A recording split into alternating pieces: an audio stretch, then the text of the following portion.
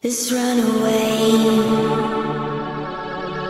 from these lights, back to yesterday. Say to